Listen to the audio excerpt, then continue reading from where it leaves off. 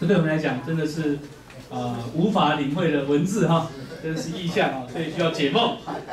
有四个树，有四个兽，狮子啊，有熊，有豹，有一个是根本无法形容，就是有大钢牙，头上有十个角，对不对？然后这个角呢，十个角又长出另外一个角，有没有？把先前的角连根拔起，然后这个角又有眼，像人的眼，有口说夸大的话，大体上就是大意是这样。好，那我们来看一下啊，第三页哈，第三页这里有讲到四个兽。事实上，这四个兽呢，也是啊，从另外一个角度来讲到人类历史上四个大的帝国啊。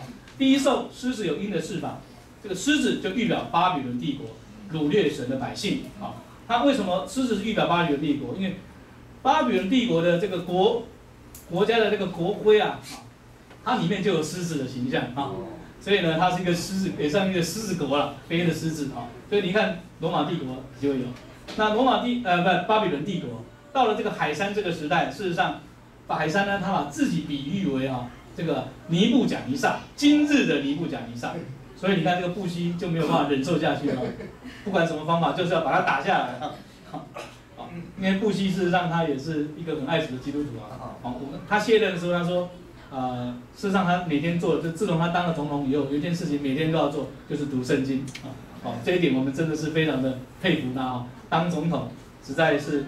日理万机，还能够在神的面前。啊，不不不论他的功过，但事实上这个人在神面前是从浪子回头，能够在主面前有好的享受，寻求主的旨意，这点是我们能够敬佩的。好，好，那他也就是啊，如同三十二二章三十二节的金的头。好，那再来第二兽就是熊，这个熊呢就预表马代波斯帝帝国，三根肋骨呢就是讲到波斯有三次主要的战机，他征服了吕底亚，征服了巴比伦，又把巴比伦灭了嘛。然后呢，他也征服了埃及，那起来吞吃多多肉，就是他并吞了很多的国家，啊，这个是波斯帝国。那第三兽呢，就是豹有四翼，这个豹呢就预表希腊帝国，为什么？因为豹跑得非常快，这里面的兽它跑最快，就是它在很短的时间里面就建立一个横跨欧亚非的帝国，亚历山大，是希腊帝国啊。但是呢，它一这个。这个豹里面呢，它有四个翼，非常快。但是这个豹呢，它有四个头，也就是说，这个帝国灭亡，亚历山大时候，帝国马上就分裂为四个，就是在马其顿的，就是啊吕西马古，好，那叙利亚的就是塞勒法斯，叙利亚就在以色列的北方，那埃及就是在以色列的西南方，多利买，再来就是在小亚细亚加三等，就是由四个大城各分成四个这个王国，这个啊希腊就分成这四个国，好。那第四兽呢，就讲到极其强壮，大有力量，有大钢牙，吞嚼嚼吞吃嚼碎，它就是预表罗马帝国，也就是所说的铁腿。那这个罗马帝国延伸到最后的末后的日子，就是长出这个十个角，啊，十个角不仅有十个脚趾头，啊，也就是这里所说的十个角，就是预表必将兴起的欧洲的十个这个国家啊。然后呢？在这个角上呢，长起一个小角，这个小角呢有两个预表，一个是预表在啊这个北方王在叙利亚王安提阿克伊比凡尼，这个历史上已经发生过，在主耶稣来之前已经发生过了。他就在这个你看，这个叙利亚王就是在在这个主来之前啊，这个王啊安提阿克伊比凡尼，他呢就是啊进到圣殿里面啊，然后献凡俗的物品啊为为祭。然后呢，让这个这个祭司啊吃不洁的东西，所以在神眼中啊，它是可憎恶的。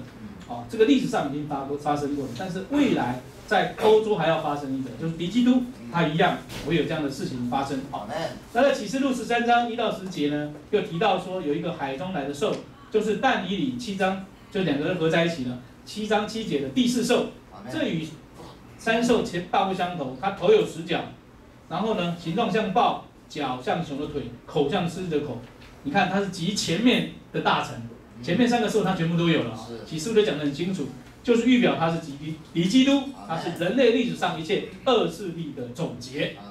主啊，你们好。那底下这个启示录十三章一到十节，就是提到它对应这个但尼理书啊，啊所提到这四兽里面啊所提的啊。那但是在启示录里面所提的。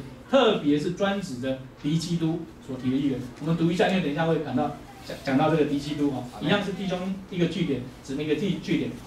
我又看见一个兽从海中上来，有十角七头，在十角上带着十个冠冕，七头上有亵渎的名号。我所看见的兽，形状像豹，脚像熊的脚，口像狮子的口。那龙将自己的能力、座位和大权柄都给了他。兽的七头中有一头似乎被杀致死，但那死伤却医好了。全地的人都稀奇，就跟从那兽，又拜那龙，因为他将权柄给了兽，也拜兽说：谁能比这兽？谁能与他征战？那龙又给他说夸大亵渎话的头。并给他权柄，可以任意而行四十二个月。兽就开口向神说亵渎的话，亵渎神的名，并他的帐目，以及那些住在天上的。又给兽允许与圣徒征战，并且胜过他们，也给他权柄制服各支派、各民族、各方言、各邦国，凡住在地上。名字没有记载，从创世以来被杀之羔羊生命册上的人都要拜他。凡有耳的就应当听。这是对于这个敌基督的预表，它就是人类历史上一些恶势力的总结。是哦，它集合前面这些帝国的这个这个猛士啊，然后呢又赐给这个撒旦，就赐给他权柄，这是纳龙，就是指的啊这个撒旦啊，赐给他权柄，然后呢他就来逼迫基督徒。然后呢？好，除了基督就是名字没有记在创世以来被杀羔羊生命册上的，就是没有信主的人。嗯。好，就是除了基督徒以外，这个没有信他的、没有信主的，几乎都去拜这兽了。哦，这等一下我们会详细的交通，这个是啊，在幕后的日子里面会有的。好嘞。好，那我们再看一下啊，第三大点啊，有这个。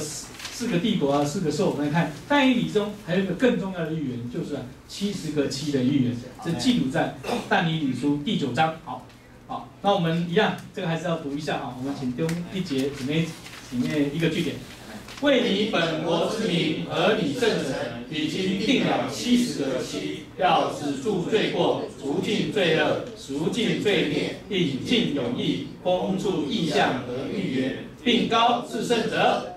当知道，当明白，从出力重新建造一路杀人，直到有受高君的时候，必有七十二和七个七和六十二个七。正在艰难的时候，耶路撒冷连接带好，都必重新建造。过了六十二个七，必被剪除，一无所有，必有一王的名来毁坏这城和圣城。至终必如洪水冲没，有征战一直到底。荒凉的事已经定了，一期之内，必与许多人坚定盟约。一期之败，他必使祭祀与贡献止息。那行毁坏可证的如飞而来，并且有愤恨在那行毁坏的身上，直到所定的结局。感谢主啊，这个是一个蛮大的这个。启示哦，他讲到这个人人类的历史哦，也讲到关于基督跟以色列的历史啊。他这个里面呢，这样是分段，七十个七里面呢有同最前面那个头七个七，就七乘七多少？四十九年啊。所以第二点，从初令重建耶路撒冷到耶路撒冷重建完成，总共花了几年呢？四十九年。然后呢，再加。六十二个七就四百三十四年，从耶路撒冷重建完成，一直到弥赛亚，就是基督被剪除，基督被钉了十字架，这个总共又经过了四百三十四年，啊，然后呢，再来中间就隔了，现在是不是六十七加六十二就六十九呢？另外一个七呢，是啊，独立的，跟这个前面没有相连。另外一个七就是讲到末后的七年，啊，末后的七年。那幕后的七年呢，又分为三年半，一期之半，三年半，三年半，好。然后呢，这中间有插进一段，就是一米一王的名来毁坏这城和圣所，就是啊，在主后七十年，罗马提多太子啊，他就攻陷了圣城，然后呢，把这个圣殿啊全部用火焚烧。你知道那个圣殿是用什么造造的？是用皂荚木包金造的，就是里面是木头，但外面是用金啊这样包在一起。他们呢这个军兵把整个这个圣城啊，这个圣殿烧了以后呢，这个所有的金就融化，就到融到哪里了？融到根基里面那个石头城墙里面去了。然后那个军兵呢，为了要拿这个金子啊，就啊把那个石头都把它推倒，好，所以就预预言了这个啊主耶稣当时的时代。他说：“你们盖的这个圣殿用了多少年了？啊，用了几十年。但是呢，啊，我要拆毁它，三日要重建。他说啊，这个殿啊，一块石头也不粘在一块石头上。所以就预言了这个罗马太子这个提多来毁坏圣城圣殿的时候呢，他们那些兵丁为了要拿里面的这个黄金，就把石头全部都拆了，回去刮金子。现在只留下一面，就是西墙，啊，也就是现在的哭墙啊。以色列那个原来的那个位置啊，只剩下一个哭墙啊，也就是以色列人他们每每到那个墙旁边，就是啊，来来这个警惕自己，他们亡国之恨啊，他们当时不听神的话，现在落得这个下场，所以他们在那里就称为西墙，又称为哭墙，哦，是这个意思的哈。好，那等到这个教会的末。末后的奥秘时期到了，就我们现在都在这个时期。到了末后的七年半，就分成前三年半啊，跟后三年半。前三年半就敌基督与以色列人要立一个和平的约啊啊签约，然后三年半就签了约了。过了三年半以后，那个敌基督就毁约了，就带进后三年半就是大灾难，这世代的终极，一直到末期。好，那我们现在就来看图表了，在弟兄姊妹手上的一个图表啊，我们先看上半段。我们由由上啊，由左到右啊，这样来看，就是帮雍姊妹复习一下这个旧约的历史啊。在以色列建国的话，是在主前一千年的左右啊。大卫在希伯伦王，希伯伦做做王啊。然后呢，这个一零零四年啊，就是大卫在耶路耶路撒冷做王啊。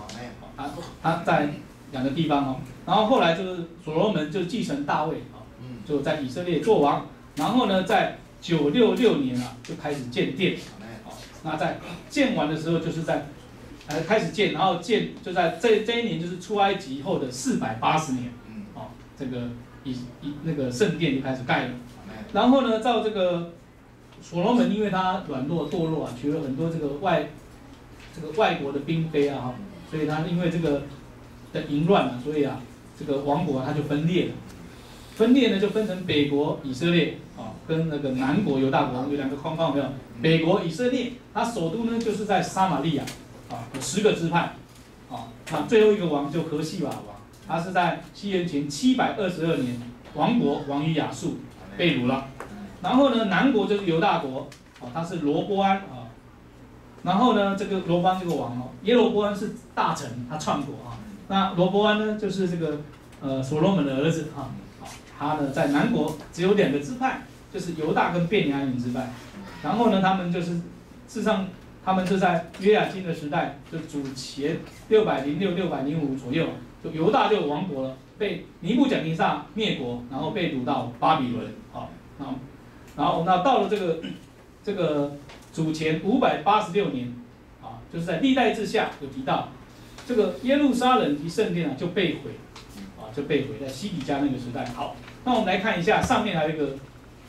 好我们再再继续往右边看好了，五百三十主前五百三十八八年哈，就是马大人马代人，就是后来要建立这个波斯帝国的，啊，大利乌啊，就历史上的这个大流士，大流士，啊，他杀了博沙萨，博沙萨呢是尼布贾尼撒的这个应该是孩子，啊，啊，因为他狂妄，太过狂妄了，所以呢，他底下的人臣子就上来就把他击杀了，啊，也算是就另外就建立一个国，就在古列。他这个，他是大利乌一世的啊，然后后面还有个这个大利乌后面还有一世，然后在这个五百三十六年，就古列王元年，啊，现在我们读了这个以赛亚书，古列王元年就下诏，被掳的以色列回可以归回，啊，然后这时候呢，就省长所罗巴伯他就开始重修圣殿，好，那我们看中间的这两个时期呢，从主前六百零六年到。主前五百三十六年开始重修圣殿，就是耶路耶利米论到耶路撒冷荒凉满足的年数，就是刚好是七十年。好，那但以理呢是在什么时代呢？就是在尼布甲尼撒那个时代，所以他当时看到这个意象的时候，还过了几十年，这个事情才成就。好，然后呢，五百二十二年就到五百二十年，就是他们建殿啊，开始啊，开始重修呃圣殿。就哈该他们盖了一半以后呢，又停下来。所以哈该跟撒加利亚就两个申言者要鼓励人民继续建殿。他说啊，这个圣殿依然荒凉，你们还住在天花板上的天花板的房屋呢？你们个人要起来，为神的殿要要要付出，要来重新修修这个正圣殿。要鼓励神的子民要刚强，为了神的权益着想。啊，不止个不能只天天住在自己的家里享受温暖的窝啊。好，那五百一十六年就是大利乌一世啊，这是另外一个大利乌了哈。六年，这个圣殿就修成了啊，所以开始开始修修到五一六啊，就修好了。然后呢，在主前四百七十八年，就进到这个亚哈水鲁王，也是这个波斯帝国的，他的王后呢就是以斯帖啊，以斯帖记，圣经中的以斯帖记。然后到了四百四十六年呢，那时候有人从耶路撒冷那里回来，报告告诉那个尼西米说啊，耶路撒冷的城墙被拆毁，门被火焚烧。所以尼西米啊就非常的这个，呃，在在这个王面前进食。那我们问他问他为什么这么的悲伤呢？他就讲到这件事情。所以当时的这个波斯王亚达薛西王啊，就赐诏书允许那个尼西米回去重新建造。啊，好。所以呢，你看四百四十六年，一直到三百九十七年，耶路撒冷连这个这的的城啊，连接带好，重新建建造。前面是建圣殿。这边是建耶路撒冷城，所以神的工作是什么？从圆心到圆周，殿是城的中心啊，在之前盖好了，重新修好了。现在呢是要盖耶路撒冷城，连接带好，要重新建造，也就是刚刚我们所读的七乘以七，就是四十九年啊，建造完成了。然后再来就是六十二个七啊，六十二乘以七等于四百三十四年啊，一直到主后啊，这个基督啊被钉在十字架上。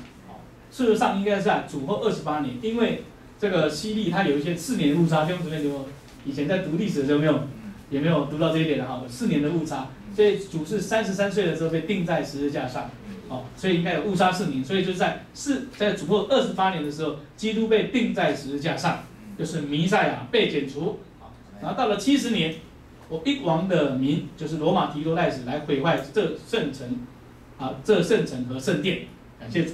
这是刚刚我们所提的。